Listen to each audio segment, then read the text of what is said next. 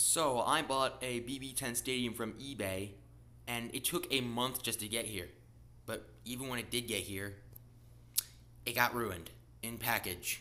It, was just put in a bag, not in a box or anything. eBay, why'd you do this to me? What did I ever do to you? I bought Dragoon and Dranzer from you. Ugh.